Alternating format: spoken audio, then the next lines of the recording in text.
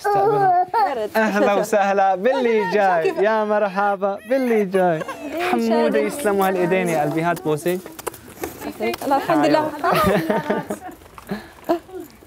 هذا يساعدني هاتي هاتي هاتي هاتي ساعدك هاتي يلا ايه hallo De eerste week met mensen in je huis, is dat zo anders? Hallo, ik ben uh, Het is ook heel gezellig en het is ook op een bepaalde manier een soort invasie in je huis. In het begin eh, eh, vond ik het allemaal een superleuk idee. En als mensen dan zeiden, oh wat leuk of wat knap, dacht ik, nou joh, toch gewoon lachen ook. en daarna dacht ik wel eens, oh, waar zijn we aan begonnen? Ik woon in mijn eentje in een groot huis in Amsterdam. Dat vind ik een beetje azo of zo.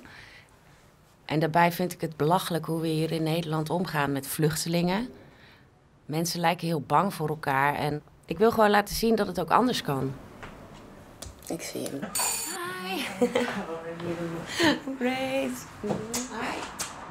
We hebben het echt superleuk samen. We doen heel veel samen. En eh, we hebben gewoon heel veel lol. the grey one. This has a hole at the back. And the grey one Okay. because you want to wear this shoes yeah Ah, yeah. Okay. Doe het. Badkamer? badkamer. Ja, douche. Oké. Op banjo. Turkisch banjo. Oh, ja. Syrië, hammam. Ja, mam. eh, ik ben een beetje zijn moeder nu, zegt hij zelf. maar ik zie dat het een goede jongen is, een lieve jongen. Hij is niet voor niks op de pootje gegaan. En ik vind het ook mooi voor mezelf dat ik ermee bezig ben al.